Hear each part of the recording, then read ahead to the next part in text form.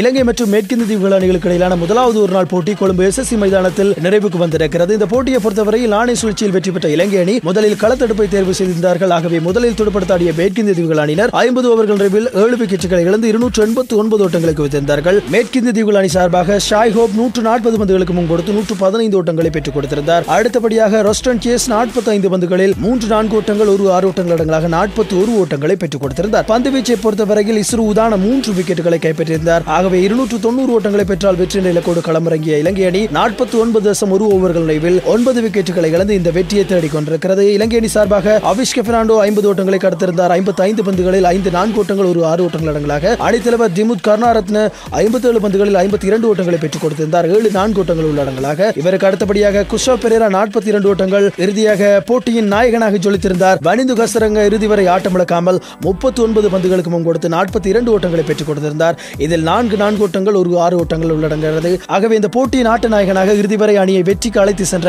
வனிந்து ஹசரங்க தெரிவு செய்யப்பட்டுள்ளார்.